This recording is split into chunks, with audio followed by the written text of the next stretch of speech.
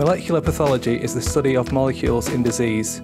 Molecules might be things like DNA and proteins.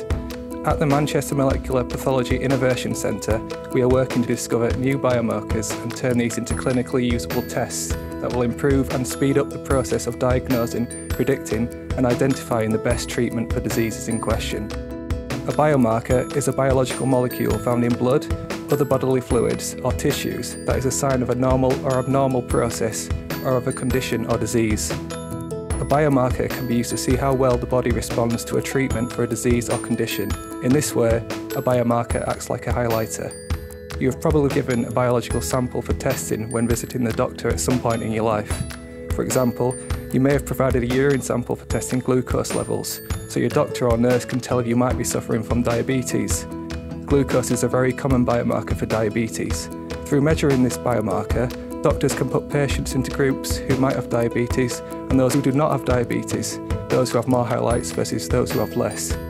Just as one size of clothing doesn't fit every person, not all treatments are beneficial to every patient. Precision medicine is an approach to treating patients through categorising them into groups based on their risks of having a particular disease or how likely they are to respond to a particular drug or therapy.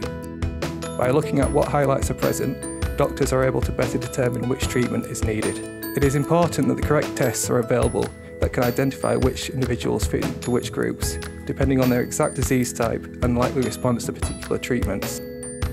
It's like developing a new ultra-specific highlighter which can be used to highlight a specific disease marker. At the Manchester Molecular Pathology Innovation Centre, we are looking to discover new biomarkers so that we can create new clinical tests.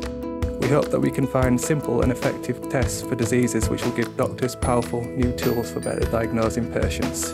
We are the Manchester Molecular Pathology Innovation Centre at the University of Manchester.